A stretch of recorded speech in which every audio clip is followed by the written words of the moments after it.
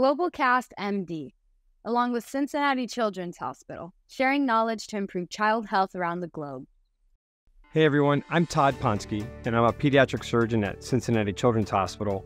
And last year in October 2022, Cincinnati Children's hosted the Quad Conference, which was a combination of four conferences the International Organization for Esophageal Atresia, the Aerodigestive Society Conference, the Cincinnati Children's Airway Course, and the Cincinnati Children's Pediatric Dysphagia Series.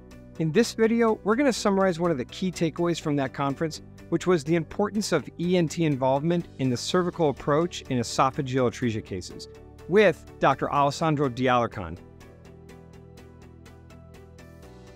In Cincinnati, we typically use a combined approach looking at the thoracic approach as well as with the cervical approach. Preoperative testing is important to understand what we're dealing with in the first place.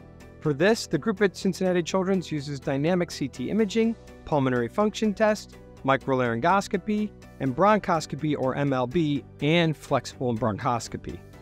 But what about intraoperative tools? What do we need? You need a neck tray, an MLB tray, and Maloney dilators versus NG tubes in the operating room when you do it. The flexible bronchoscopy is really key, and Placing your endotracheal tube is really important so they can look as you were doing the operation. They often like to do them nasotracheally and guide them exactly where they want them. And sometimes that means your cuff is super high and it's almost at the glottis. You just have to be aware of that. If we can, we like to use a NIM tube. That's part of trying to prevent potential injury to recurrent nerves or at least make you aware when you're getting close to them. Now that we understand the standard workup and OR setup, Let's dive into the typical approach of Dr. De Alarcon's team. It's a standard neck approach where we raise subplatysmal flaps. You deal with the anterior compression as needed. Sometimes they can assist with the thoracoscopic approach by removing some of the residual or regrown large thymus because it's right in the way. You can add things like aortopexy and omopexy at the same time.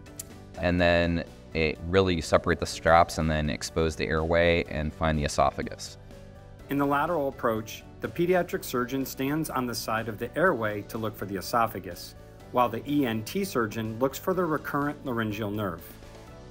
And then it's thinking about your approach to mobilize the esophagus. And the experience of working with our team in Cincinnati, we have learned how to not be afraid of the esophagus. So being able to find it, to move it, to get it out of the way is really important. The surgeons work together to mobilize the esophagus above the level where they aim to pexy. That approach makes it easier to place the sutures exactly where they are needed.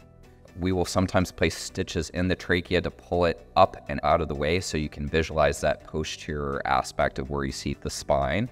Our multidisciplinary team includes a pulmonologist as well, who is assisting in visualization inside the trachea with flexible tracheoscopy through the endotracheal tube while the stitches are being placed. We like to use 3-O-Prolenes and we like to place all the stitches before we actually secure them down, and it's important to do this under spontaneous conditions. This combined approach is really valuable for the complicated cases or those patients who need an additional operation for symptom relief. An example of a patient was one of ours who actually had already had a thoracoscopic approach to tracheopexy, had some of the dysphagia because of that torqued esophagus, and then we use that sort of combined approach to really get a really nice airway, and she's now symptom free. Finally, what outcome measures are used to determine that the procedure was a success?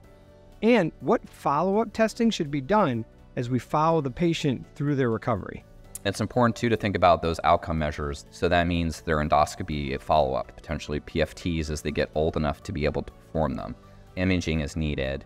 And when you look three, six months later, it may still look like there's some malacia, but symptomatically they're better. So it's important to pair that piece and understand that we're still trying to learn exactly what are those measures that we want to use to be able to say that they are a good outcome versus a bad outcome. And that managing complications is part of that piece too, whether it's swallowing dysfunction or vocal fold paralysis. Due to those potential complications, it's especially important for our otolaryngology colleagues to be involved both in the procedure and during follow up. And it's always easier if it's already built into your team. To summarize, in this video, we discussed the combined cervical and thoracic approach for esophageal atresia cases, which included preoperative testing, intraoperative setup, and the importance of a multidisciplinary team for the best outcomes with Dr. Alessandro De Alarcon. And this approach proves valuable for complex cases, improving symptoms and ensuring comprehensive care. Thank you for watching this video.